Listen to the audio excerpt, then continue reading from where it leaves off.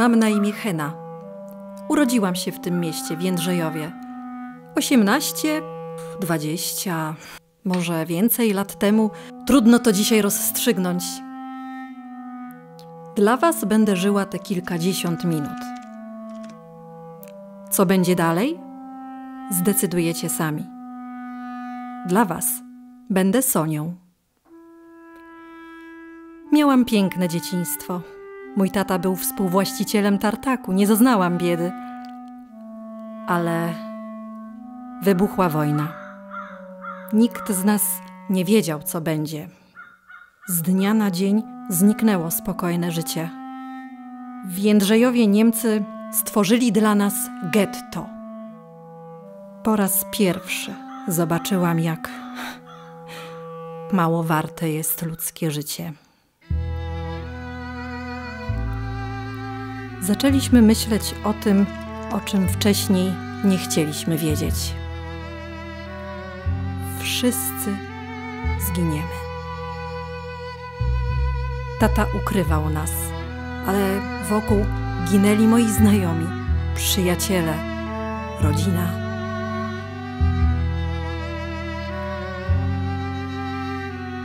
W snach zaczęłam spotykać grajka.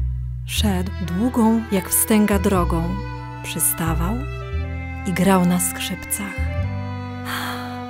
Pięknie grał, tylko nigdy nie kończył zaczętej melodii. Ta ostatnia, urwana nuta budziła we mnie strach.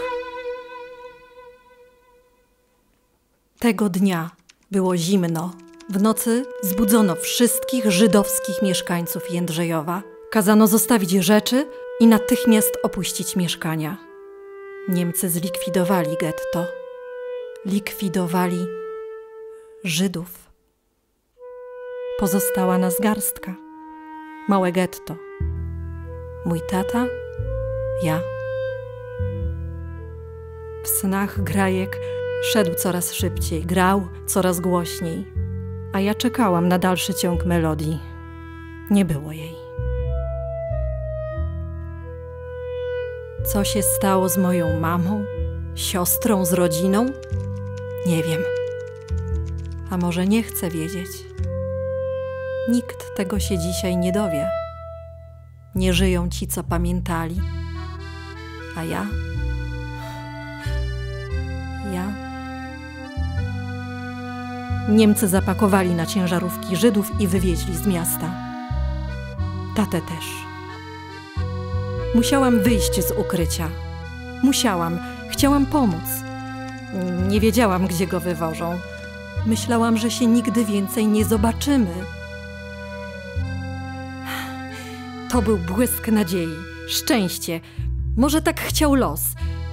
Dowiedziałam się, że kilka ciężarówek skręciło do pobliskiego Chomentowa. Tata żył. Zabrałam ukryte kosztowności i pieniądze.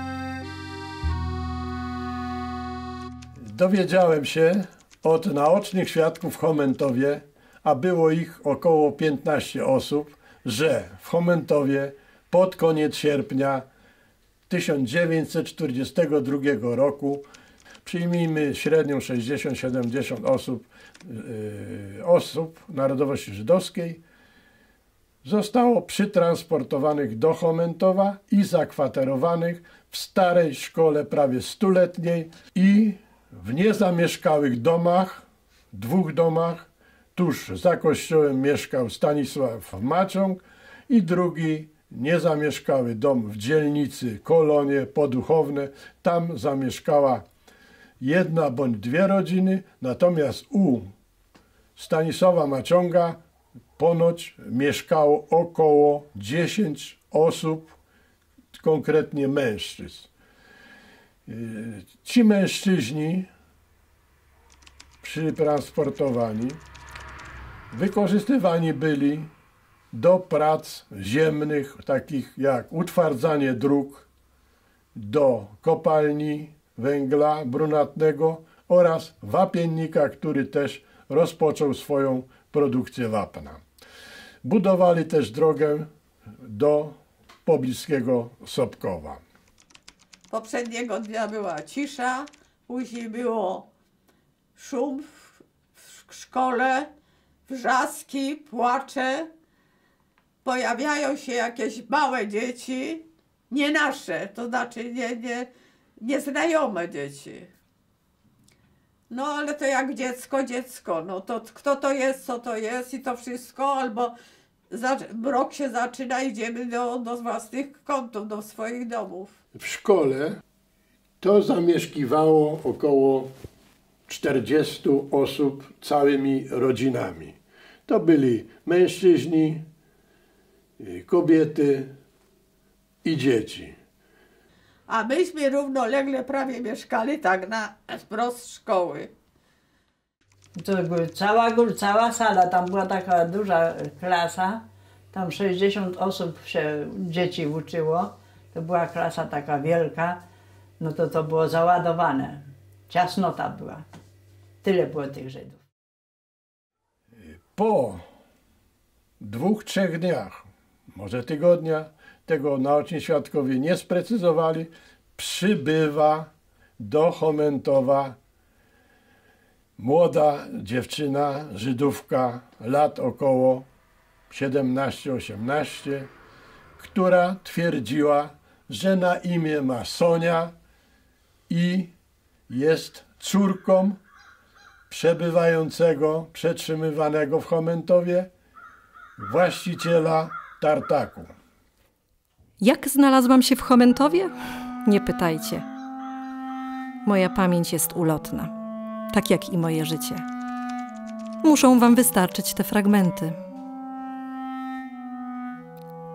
Zamieszkałam naprzeciwko szkoły, gdzie przetrzymywana była część Żydów. Do taty było blisko. Jako Sonia czułam się tam bezpieczna. Prawdziwe schronienie miałam w córce gospodarzy, Zosi. Mieszkałyśmy razem. Pilnowała mnie. Sonia mieszkając u gospodarza, który miał starszą córkę od Soni, zaprzyjaźniły się i chodziły wszędzie razem. Tak to bym ją narysowała nawet, jak ona wyglądała, jaka ładna była.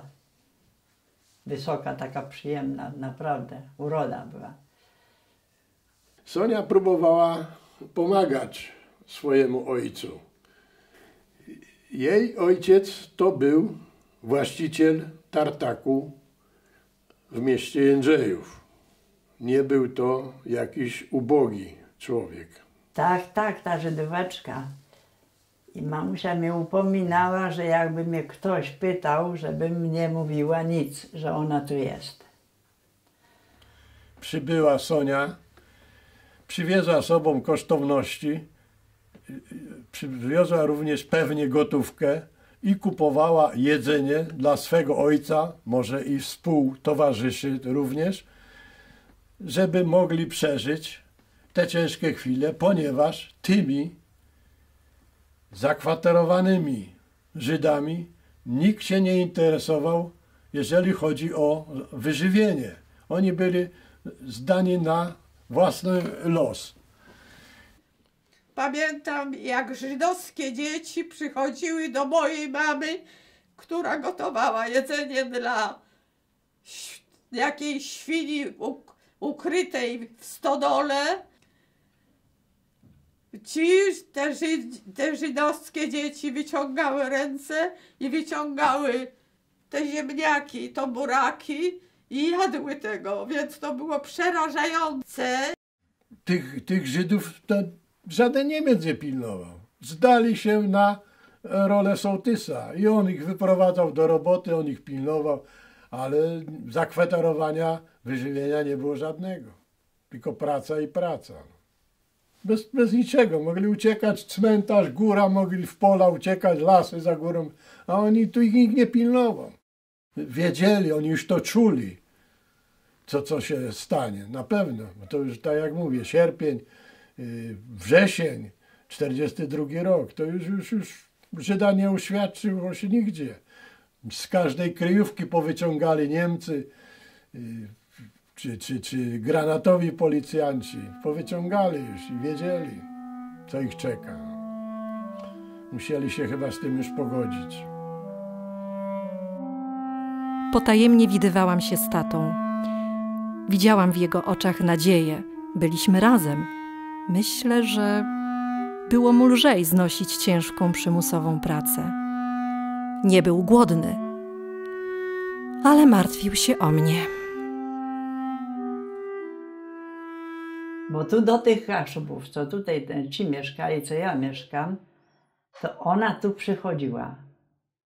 Tutaj to często widziałam ją na podwórku, bo żeśmy tu była taka góra i z tej szyi góry my ślizgali się tam zawsze, czyśmy na sankach czy na wózkach jeździli, to ona zawsze tutaj była u tych starszych osób.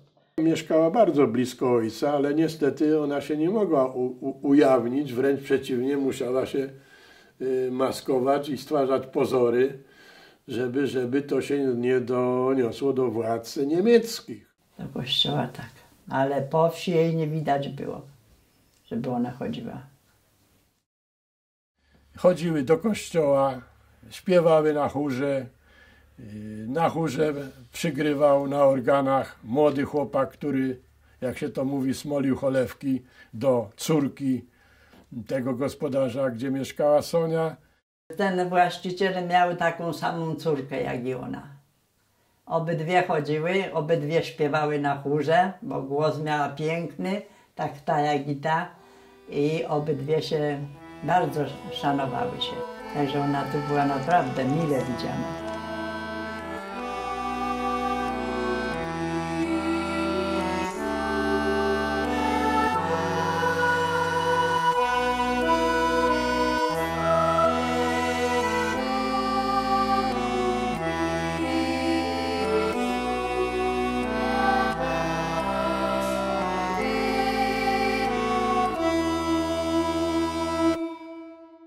Szczupła, ładna dziewczyna, no a mnie to naj, najbardziej imponowało, że była bardzo ładnie ubrana.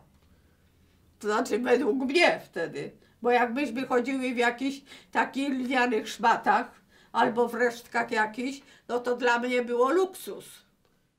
I pomagała w zlewni mleka, a naprzeciw zlewni mleka to był już dom Maciąga Stanisława, w którym prawdopodobnie był zakwaterowany Żyd, właściciel tartaku.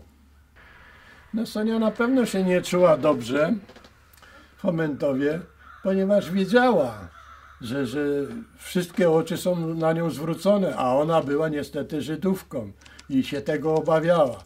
Co ciekawa sprawa, do Chomentowa na służbę przyjeżdżali dwaj granatowi policjanci. Roman Saganowski i Wacław Perek. I oni wiedzieli, kto to jest Sonia i powinni, ich obowiązkiem było zgłosić to Niemcom. Czarne chmury nadeszły, kiedy coraz częściej zaczęli pojawiać się w Chomentowie granatowi policjanci. Wiedzieli o moim pobycie, cieszyli się z tego. Szczególnie on. Był natarczywy.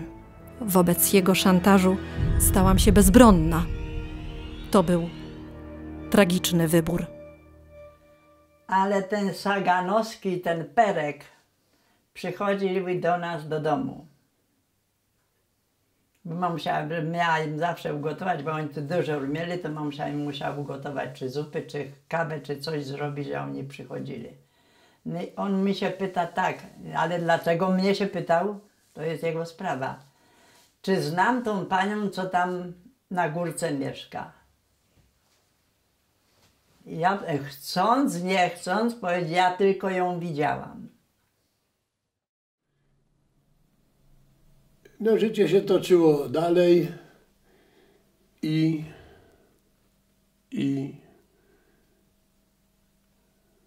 Sonią zainteresował się policjant granatowy z posterunku Sobków i tam przebywając, to pewnie ją tam odwiedzał. To zawsze ten kaszkiet tak na boku i ten daszek tak trzymał. Nie tak, że prosto jak ten drugi, co miał, tylko tak się wie odznaczyć, ja by się odznaczał tymś. No ale oni za nią byli, o, oni za nią polowali. Nieraz ten kwas to mówili tak, nie chodź dziecko, nie chodź nigdzie. Ja nigdzie nie chodzę, ja tylko wychodzę, mówi tu pod szkołę i nigdzie nie chodzę. No bo się bali i o siebie. No i zaczął tam do niej się zbliżać, a się zbliżył zanadto.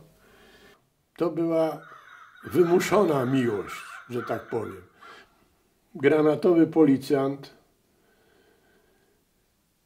oświadczył pewnie Soni, to jest sugestia, że ona już tu nie ma nic do szukania, że tak powiem, bo jej ojciec już pójdzie na stracenie. I zaproponował, że on jej znajdzie, tak się to nazywało kiedyś, Melinę w miejscowości Michalinówka i tam będzie się ukrywać. No on nie, myśl, nie myślał o jej bezpieczeństwie, tylko myślał o jakichś tam korzyściach seksualnych. No, taka to jest prawda. Efektem późniejszym było to, że Sonia była w ciąży. Tata wpatrywał się w moje oczy i widział w nich rozpacz. Ale żyliśmy, to się liczyło. Żyliśmy. Do czasu, aż z Chomentowa wywieziono wszystkich Żydów. Tatę też. Sonia przy ojcu, czy w pobliżu ojca, przebywała w Chomentowie i pomagając mu jakimiś wszelkimi sposobami, to trwało około czterech miesięcy.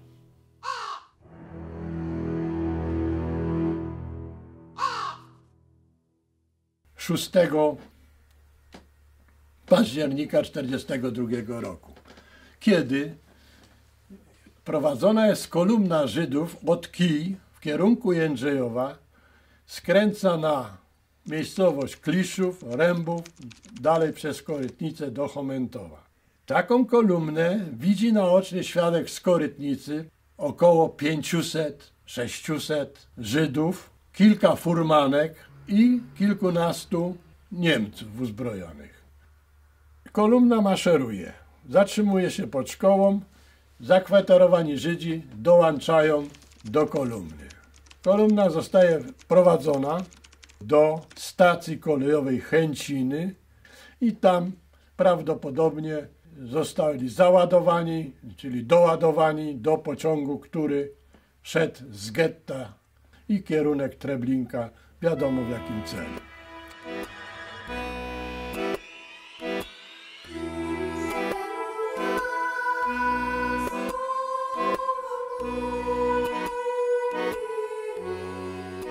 Te pola, drogi są jak w moim śnie, jak we śnie z grajkiem.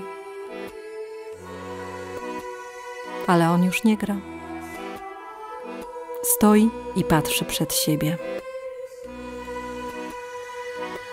Zostałam sama z tlącym się we mnie nowym życiem. Tylko dziecko dawało nadzieję. No i utkwiło mi jeszcze takie wspomnienie osobiste. Przyszli granatowi policjanci, ci sami, Roman Saganowski i Wacław Perek i zabrali Sonię od gospodarza, u którego wynajmowała mieszkanie i przeprowadzili tylko przez drogę na drugą stronę. Mieszkał sołtys. W każdym bądź razie obraz mi został taki do dzisiaj, że wprowadzają na podwórko, na podwórko mojego taty, nasze, wchodzi najprzód jeden chłopak i dwóch granatowych policjantów, wysokich, przystojnych ludzi, mężczyzn. Przyprowadzają dziewczynę, piękną dziewczynę, brunetka, pięknie ubrana, elegancka. Była bardzo milcząca. Nic się, tylko powiedziała tyle, że ona chce iść do ubikacji. I ona poszła, weszła do tej ubikacji. Weszła do tej ubikacji. Długo była. Długo była. No ale po pewnym czasie wyszła zapłakana, a mnie dużo nie brakowało, bo i mnie do, do dzisiaj nie brakuje, żeby cokolwiek, jakąś tragedią pomyślała, to ja też już mi łzy lecą i serce mi się tego. I tą dziewczynę prowadzą. I tą dziewczynę wyprowadzają na nasz teren ogrodu, ogródka takiego. Jak już nic nie widać było tych wielkich ludzi, to ja wyjrzałam z tego ogródka. No to widziałam, że w dół prowadzili tak jak na droga na Chmielowice, to znaczy do góry tam. No ale później już obraz mi zniknął, bo to było na zakręcie i więcej tego nie pamiętam. Perek brał ją pod pachę i prowadzili ją w stronę Michalinówki. Jeszcze myśmy z koleżanką poleciały za nimi, gdzie oni ją zaprowadzą. I oni doszli do Michalinówki, tam był taki las sosnowy, młody rósł. Doszli do tej Michalinówki, stanęli, stoją i stoją, a my stoimy na górze, na samym szczycie tej góry z koleżanką, patrzymy, co się będzie dalej dziać. Jeden wziął ją, poszedł do przodu. Sam. Drugi się został. Ja mówię, Marysiu, one coś będą robić. A co będą robić? Co ci, co ci do głowy przyszło? Coś będą robić. Kończy się moja opowieść. Zostało kilka minut życia. Gdziekolwiek jestem, połóż, proszę, kamień na tej drodze. I wtedy doszło do strasznej rzeczy, do tragedii. Pewnym momencie policjant Saganowski został z tyłu pod pozorem coś tam majstrować przy bucie, a przodem poszedł Perek i Sonia. Gdy ruszył do nich Saganowski, wyjął pistolet i z tyłu strzelił. Nie wiadomo, czy raz, czy więcej razy, także dokonał morderstwa. No I się okazało, że ten Saganowski z tym perkiem, perkiem go, ją załatwili. No. I na tym się skończyła ona. Dopiero potem się okazało, że jest zabita i zasypana. No jakiś powód y, zastrzelenia, czy tej wykonania morderstwa na tej Soni musiał być. No a takie, y, taka sprawa jak zajście jej w ciążę, no No ale co ona, Żydówka, bo Żydówka, no ale co ona komu była winna? Tak ona tylko pomagała tu. Więcej nic. Bo miała szansę, chociaż była w ciąży, to, to wcale Saganowski nie musiał tego zrobić. Miała dobrą melinę. Już po prostu Niemcy już sobie prawie że dali, odpuścili, bo już Żydów prawie zlikwidowali do zera. I mogła dziecko urodzić i być przetrzymywana tam, a miała ku temu warunki. Takie rzeczy, takie rzeczy się działy. Już bym nie chciała widzieć. Przecież ona nie musiała ostatecznie, bo nie wiedziała tego, ale ojciec, czy ona by była, czy nie byłaby, to ona losu ojca nie zmieniła kompletnie nic. On i tak by był doprowadzony do, do chęci, na chęci do Treblinki i tak. I taki widzi pan los.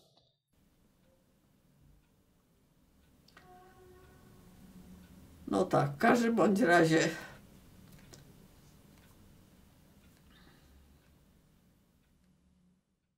No ale miała warunki, chciała pomóc i jako córka zrobiła aż za dużo, za co przepłaciła życiem.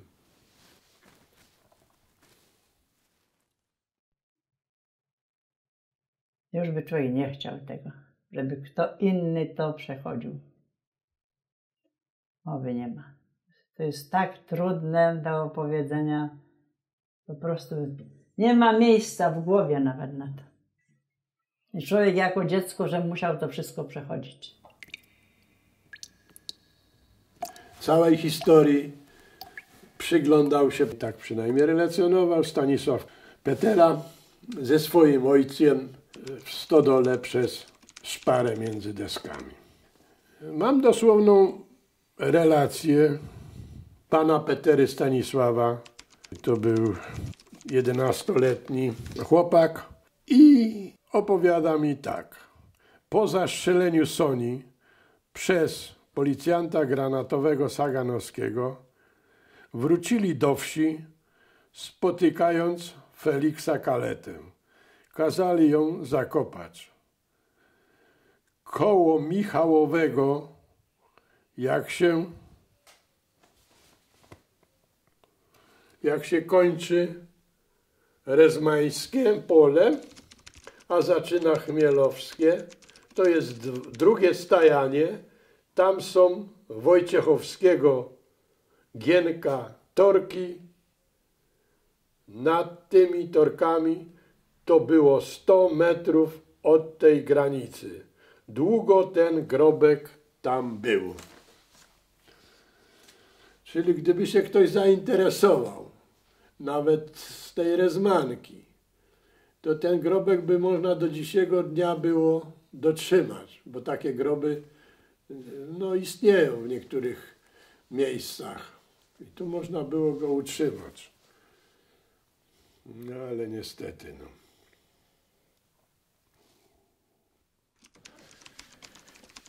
Po zbadaniu, przejrzeniu, wertowaniu różnych dokumentów doszedłem do wniosku, że zamordowana Sonia, córka właściciela, a właściwie to był współwłaściciel, to jest Mauer, nazwisko, Hena imię. I ona jest córką, czyli była córką Józefa Mauera, współwłaściciela Tartaku.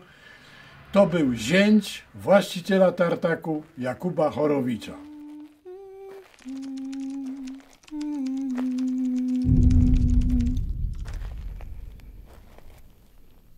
Mm-hmm.